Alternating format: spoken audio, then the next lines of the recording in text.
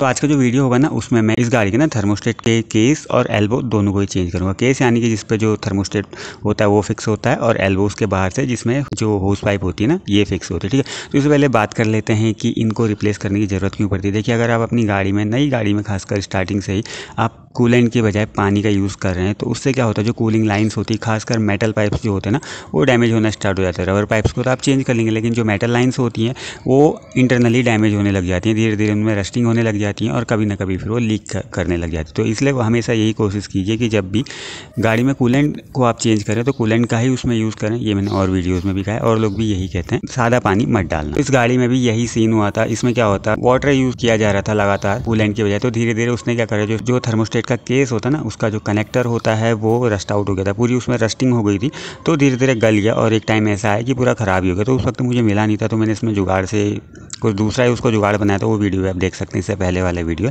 ठीक है तो फ़िलहाल अब मेरे को मिल गया तो उसको मैं रिप्लेस कर रहा हूँ। रिप्लेस करने से पहले जो चीज़ें आपको ध्यान में रखनी ना कि इसका जो होस पाइप आपको चेक कर लेना अगर उनके अंदर रस्टिंग ज़्यादा है या वो डैमेज हो गए तो उनको चेंज कर लेना लेकिन ये सब करने के लिए ना हमें एयर फ़िल्टर का बॉक्स है ये निकालना पड़ेगा, लेकिन उससे पहले आप इसमें इतनी सारी धूल देख रहे होंगे। अब इस धूल के साथ ही उसे निकाल देंगे ना तो थ्रोटल बॉडी के अंदर जाने के उसके चांसेस रहते हैं। तो इससे बढ़िया इसको पहले पूरा क्लीन कर लेना है।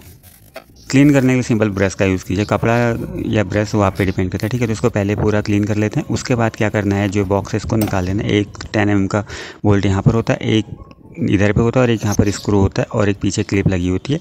ये हट जाएगा और एक ना इसमें टूट गया था तो जुगाड़ के बनाकर यहाँ पर एक और स्क्रू फिट करेगा तो ये हटाकर ये निकल जाएगा, ठीक है? ये निकाल लेने के बाद इसको साइड कर लेना। यहाँ पर लगे होंगे, यहाँ पर लगे, देखिए तीन कनेक्टर्स लगे हुए एक्चुअली ये जुगाड़ी बनाया हुआ था। इसमें क्या करा एलपीजी है तो कनेक्टर के थ्रू इसको पास करना पड़ता है पाइप को। जो नॉर्मल जो एलपीजी पाइप आता है ना, वो काफ़ी ज़्यादा उसको फैलाना पड़ता है तो पाइप उससे डैमेज हो जाता है। तो मैंने वो नहीं करा कनेक्टर लगा लिया। दोनों साइड मैंने यही करा हीटर हो उसका पाइप तो एलपीजी का जो टेम्परेचर है ना, उसको मेंटेन करने के लिए भी यहाँ पर ये लाइंस दी जाती है, ठीक है? तो उनको निकाल लेना है। यहाँ पर तीन कनेक्टर्स लगे हुए इनको निकाल लेना है और नीचे इसका, इससे पहले क्या करना है अगर देखिए आपका कूलेंट नया है, पानी यूज़ करें तो उसको तो रिप्लेस कर ही दीजिए, अगर कूलेंट नया है तो उसको भी बचा रेडिएटर है ना, उसके थ्रू निकालना पड़ेगा। नीचे यहाँ पर ड्रेन बोल्ट दिया रहता है रेडिएटर में से, इसमें नहीं है। मैं क्या करूँगा, यहाँ पर ये जो एस का इसको मैं ढीला कर दूँगा। रीयूज़ करने लायक होगा तो ही रीयूज़ करूँगा, अगर ज़्यादा पुराना होगा या उसमें बहुत ज़्यादा पार्टिकल्स होंगे तो यूज़ नहीं करूँगा। जो रेडिएटर कैप है उसको निकालें कूलेंट जल्दी से ड्रेन आउट हो जाएगा और रेडिएटर जो कैप है, उसकी कंडीशन चेक कर लें। ज़्यादा रस्टिंग है तो क्लीन कर लें, ठीक है? अब क्या करना है? देखिए, यहाँ पर मैं इसको पूरा ड्रेन आउट होने देता हूँ। उसके बाद उसकी कंडीशन चेक करें अगर ज़्यादा उसमें डर्ट पार्टिकल्स हैं, ज़्यादा पुराना है तो उसको चेंज कर लीजिए अब के बाद क्या करना है? जो इसका जो वाटर टेम्परेचर सेंसर होता है, कोई स्विच कहता है, कोई सेंसर कहता है। चलिए, मैं सेंसर ही बोल देता हूँ, ठीक है? तो इसको निकाल लेना। ये काफ़ी हार्डली स्टिक हुआ होता है, क्योंकि इसको निकालते नहीं तो ये बहुत ये बहुत ज़्यादा ना हार्डली स्टिक हो जाता है। तो इसको क्या करना है? इसका जो लॉक होगा, उसको दबाकर किसी स्क्रू ड्राइवर की हेल्प से पीछे करोगे, वो निकल जाएगा। उसके बाद क्या करना है? यहाँ जो होस पाइप है ना, इसको निकाल लेना है। इसके अंदर मैं आपको दिखाऊँगा। देखिए, जो बात मैं कर रहा था ना एल्बो के पास आप रस्टिंग देख रहे होंगे। कभी ये अचानक से लीक हो ना तो कूल लाइन गिर जाता है। तो इसलिए अगर ये पुरानी हो गई है और इसमें लगातार पानी का यूज़ किया गया तो इसको भी रिप्लेस कर लेना उसके बाद क्या करना है, ये ब्रैकेट है ना, जो एयर फ़िल्टर का, वो भी इसके साथ ही कनेक्ट रहता है। तो ये दो बोल्ट हमको खोल लेने, ये बोल्ट खोल लेने के बाद जो इसका, जो ये एल्बो है और आगे जो थर्मोस्टेट केस है, ये पूरा निकल जाएगा। ठीक है तो इनको निकाल लेना है और ये ब्रैकेट भी इसके साथ साथ निकल जाएगा। एक वायर एक वायर रहती है यहाँ पर। कनेक्टर वायर उसको भी निकाल अब देखिए, यहाँ पर ये निकल नहीं रहा है तो क्या है, इसके आगे जो होस पाइप है ना, ये मुझे निकालने पड़ेंगे। ये मैं निकाल लेता हूँ, अब ये इजीली बाहर निकल जाएगा। और एक चीज़ और ध्यान में रखनी, फ़िलहाल मैं इसको आपको दिखा देता हूँ, ठीक है? जो स्टड होते हैं ना, इनका ध्यान रखना, इनमें अगर आप बोल्ट ओवर टाइट कर देंगे इनके जो नट ओवर टाइट कर देंगे ना तो ये टूटने का चांसेस रहता है। वैसे ये भी रिप्लेस हो जाते हैं बट फिर भी आपको ध्यान रखना है।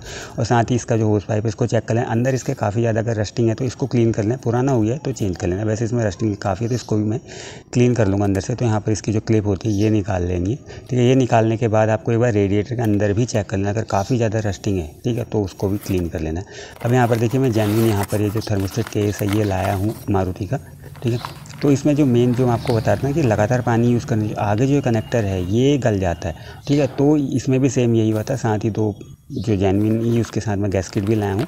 पुराने वाले में देखिए सेम चीज़ हुई थी, वो गल गया था तो उसकी वजह से मुझे कि जुगाड़ बना के काम करना पड़ा। जुगाड़ है सक्सेसफुली है, वैसा कुछ नहीं है। इसके बाद मैं आपको दिखाता हूँ, इसकी जो एल्बो है वो, और अंदर जो यहाँ पर आप देख रहे होंगे ना थर्मोस्टेट ये भी इसमें हार्डली स्टिक हो गया, क्योंकि सीलेंट ज़्यादा लगाया था, क्योंकि वो बैठ नहीं रहा था पहली बार में यहाँ पर, ठीक है? तो कोई नहीं है तो निकल जाएगा, इसकी कोई दिक्कत नहीं बट आपको थर्मोस्टेट को भी चेक कर लेना। और एक चीज़ और ना, कई लोग थर्मोस्टेट निकाल के गाड़ी चला देते वो मत करना, वो गाड़ी का टेम्परेचर मेंटेन ही नहीं हो पाएगी आपकी गाड़ी का, ठीक है? अगर ऐसा करते हो वो गलत है, उस पर भी कभी एक सेपरेट वीडियो में बना दूँगा। फ़िलहाल देखिए, इसको क्लीन कर लेना है।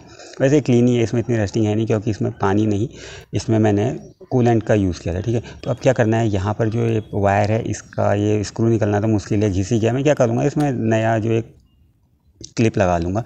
अब यहाँ पर 19 एम का इस सॉकेट लगता है इसमें किसमें ये जो टेम्परेचर सेंसर होता है इस पर मैंने ये गर्म करवा के निकलवाया था, ये निकल ही नहीं रहा था, क्योंकि हार्डली स्टिक हुआ था ना। कोशिश करना कि इसे आपको जब भी निकालना हो ना तो इसको या तो रिंग स्पैनर की हेल्प से निकालना ओपन एंड स्पैनर से निकालोगे तो फिर वो घिस जाएगा, फिर निकलने में दिक्कत करेगा। या आप एक काम करना, इसको हीट करवा लेना, फिर निकलवा लेना। तो मैंने वही करा था और इसको मैं अब कर लेता हूँ क्लीन अच्छे से। ये क्लीन भी हो गया और इसको दोबारा से रीइंस्टॉल कर लेंगे उससे पहले एक होस पाइप भी मेरे को चेंज करनी देखिए, इसमें जैसे मैंने आपको बोला एलपीजी के लिए जाता है ना? तो उसके लिए मुझे एक्स्ट्रा पाइप यूज़ करना, मैं चाहता तो इसको लगा लेता इस तरफ़ से, लेकिन इसमें दिक्कत क्या है देखिए, एक तरफ़ से तो चल जाएगा, दूसरी तरफ़ ये लगेगा हीटर की होस में, ठीक है? तो वो है काफ़ी ज़्यादा चौड़ा। अब जो मेरे पास यहाँ पर कनेक्टर मैंने इसमें यूज़ कर पहले तो मैंने जुगाड़ बनाया था, लेकिन अभी मैं इसमें प्रॉपर कनेक्टर्स का यूज़ कर रहा हूँ, ठीक है? तो ये काफ़ी ज़्यादा चौड़ा है, उसमें जाने तो अब इसमें भी एक जुगाड़ बनाऊँगा, फ़िलहाल कि मैं आपको दिखा देता हूँ, देखिए जो मैं कह रहा था ना, कि लगातार पानी यूज़ करने से जो एल्बो की हालत हुई है, कभी भी लीक हो सकती है। ठीक है तो ये मेरे को, इसको भी मैं रिप्लेस कर रहा हूँ, क्योंकि इसको लगाना ख़तरनाक है, क्योंकि अगर ये कभी लीक कर गई तो फिर खाली कूलेंट गिर जाएगा, फिर वो बड़ा गलत से हो जाता है। साथ में इसके गैसकेट भी आई मैं यानी यूज़ नहीं करूँगा, फ़िलहाल के लिए कभी रख लेते हैं, काम में आएगी। अब आपको क्या करना है ना कभी भी कोई नया पार्ट यूज़ करते हो तो साइज़ ज़रूर मेजर करना है पुराने वाले के साथ। अदरवाइज़ ठीक है? उसके बाद क्या करना है? इनको फिट कर लेना है। देखिए, सबका तरीका अलग अलग है। मैं इसी तरीके से कर रहा हूँ। आपके लिए भी आसान रहेगा। उसके बाद क्या करना है? एल जो थर्मोस्टेट होता है ना, इसको यहाँ पर फिट करते वक्त तो आपको ध्यान रखना है। पिन होती है। पिन के ऊपर जो थर्मोस्टेट केस होता है ना, वहाँ पर एक मार्क दिया रहता है। उसी के अकॉर्डिंग आपको फिट करना है। उसके बाद ये एल्बो फिट कर लेनी बाहर से। लेकिन ये थोड़ा हार्डली जाएगी। नई एल्बो थोड़ा हल्के हल्के इसको पुश करोगे, ये चली जाएगी। ठीक है? और एक चीज़ और होती है ना, इसमें आप जब गैस और ये जो कनेक्टर है ना वायर, इसको भी मैंने लगा लिया। अभी मैं इसमें आठ एम का ठीक है इसमें आठ एम का कोई भी आप स्क्रू लगा सकते हैं उसके बाद ये ब्रैकेट लगाना है एयर फ़िल्टर का ये आपको लगा लेना। मेन चीज़ यही है और जो यहाँ पर जो बोल्ट है ना नट है सॉरी इनको ओवर टाइट मत करना। ये टूट गए फिर आपको पूरा स्टट चेंज करना पड़ेगा बड़ी दिक्कत हो जाती है यहाँ पर। इनको टाइट करना है और एक चीज़ और है अभी आप अगर ये कभी कभी क्या होता है ना ये टाइट करने के बाद भी पूरा जो थर्मोस्टेट केस होता है एल्बो होता है टाइट करने के बाद भी ना लीकेज हो, होने के चांसेस रहते हैं। फ़िलहाल ये जो वाटर टेम्परेचर सेंसर है, इसको टाइट कर लेना है, ठीक है? ओवर टाइट इसको भी मत करना नाइनटीन एम का यहाँ पर रिंग स्पैनर का खासकर आपको यूज़ करना है, ठीक है? इसको टाइट कर लेना और इसके बाद इसके कनेक्टर आपको लगा लेना। एक चीज़ और है, अभी आप इसमें एक चीज़ का हमेशा ध्यान देना, ठीक है? इसके बाद इसका कनेक्टर भी लगा लेना, ये हो गया इतना।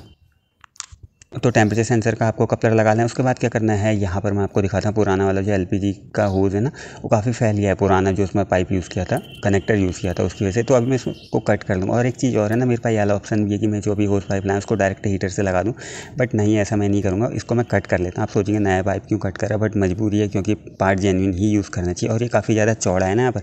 तो इसके लिए मैं क्या कर रहा हूँ, इसके अंदर पाइप के अंदर एक और पाइप लगा रहा हूँ। आप सोचेंगे क्या उल्टा काम कर रहा है बट ये काम परफेक्ट है। ठीक है, इसको इस तरीके से प्रेस करोगे, जितना चाहिए होता है नए कनेक्टर के लिए, उतना ही यूज़ करना है, बाकी अगला हिस्सा इसका कट कर लेना है, ठीक है? तो ये कनेक्टर में इतना जा रहा है, इसकी क्लिप लगा लेनी है, ठीक है? और इसको इसमें फिट कर लें। एक साइड से तो होता ही इसके लिए तो ये फिट हो जाएगा, उसके बाद जो क्लिप है वो टाइट कर लेनी है अच्छे से, ठीक है? ये टाइट हो जाएगी।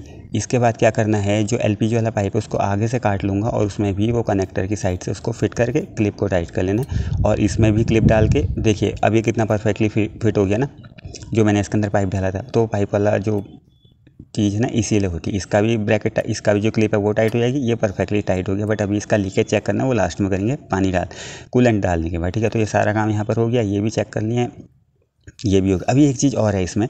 नीचे वाला जो होस पाइप निकाला था ना, उसको भी आपको टाइट कर लेना है। उसके बाद क्या करना है इसमें कूलेंट फिल कर लेना है। और अगर ज़्यादा रस्टिंग है ना, जैसे मैंने आपको बोला तो कूलेंट को एक बार जो रेडिएटर है ना, उसको एक बार फ्लश भी कर लेना। तो यहाँ पर मैंने ये भी लगा लिया है, ठीक है?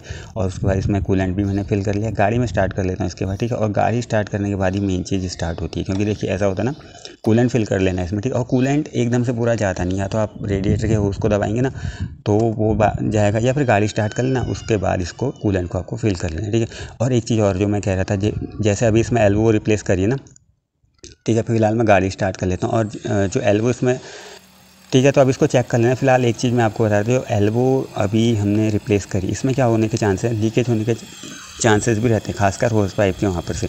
तो उसको आपको ध्यान से टाइट करना देखिए, इसमें आपको चेक कर लेना कोई लीकेज तो नहीं था। इसमें एक बार लीकेज हो रहा था, किस लिए होता है जो होस पाइप था वो अच्छे से टाइट नहीं था। उसको मैंने टाइट कर लिया पूरा। तो लीकेज यहाँ पर रुकी एक चीज़ और है, सीलेंट का आपको यूज़ करना।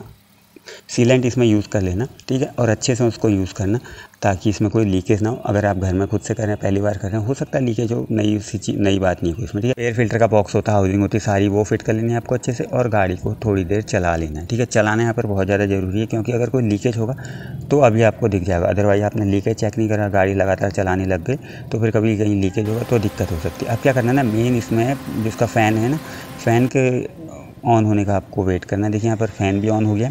ये चीज़ इंपॉर्टेंट होती है। अगर मान लीजिए टेम्परेचर जो वाटर टेम्परेचर सेंसर था, अगर वो ख़राब हो जाता कभी कभी हो भी जाता, ठीक है? तो अगर फ़ैन ऑन नहीं होता, फिर गाड़ी ओवर हीट होने लग जाती है ठीक है? तो ये चीज़ हो गई। फ़ैन भी अच्छे से काम कर रहा है टेम्परेचर सेंसर भी अच्छे से काम कर रहा है एसी भी आपको चला लेना है और गाड़ी को अच्छा खासा काफ़ी देर ना अपने सामने सामने स्टार्ट करके देख लेना।